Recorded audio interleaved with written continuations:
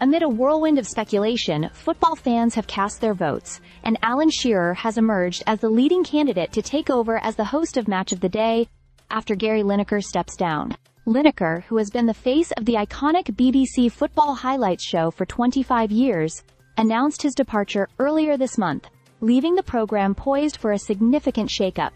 While the BBC has not confirmed his replacement, Shearer has captured the public's imagination as the favorite for the role. A recent Ipsos poll revealed that 71% of football fans have a favorable opinion of Shearer as a pundit, and 22% believe he is the ideal successor. This popularity places him ahead of other speculated candidates, including Mark Chapman, Alex Scott, and Gabby Logan. Notably, Chapman garnered 20% of the vote, followed by Scott at 12% and Logan at 10%.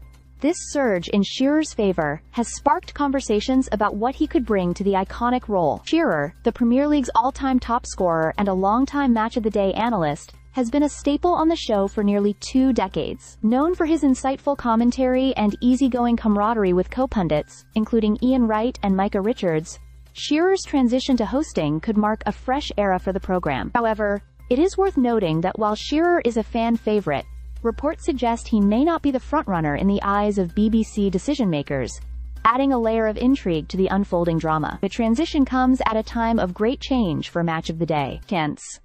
Lineker's departure represents more than a personnel shift.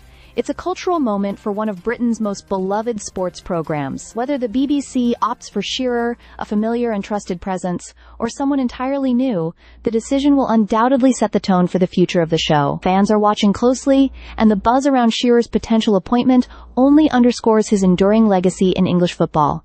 Stay subscribed for more videos.